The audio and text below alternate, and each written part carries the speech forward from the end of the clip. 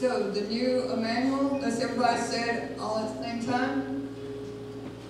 All, and new Emmanuel called on the God of Israel, saying, Oh, oh that you would bless us indeed, and enlarge our territory, that your hand would be with us, and that you would keep us from evil, that we may not cause pain. So God granted us what we requested. And everybody said amen.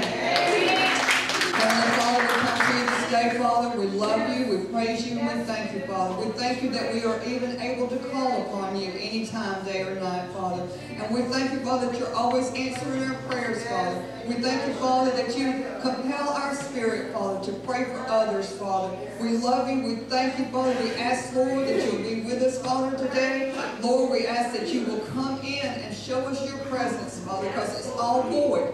It is all vain and void, Father, without your presence being here. And we welcome your Holy Spirit, Father. Come in like that mighty dove, Father. And Lord, we just ask, Father, for peace and comfort today, Father. We give you praise and we give you glory. In Jesus' precious name.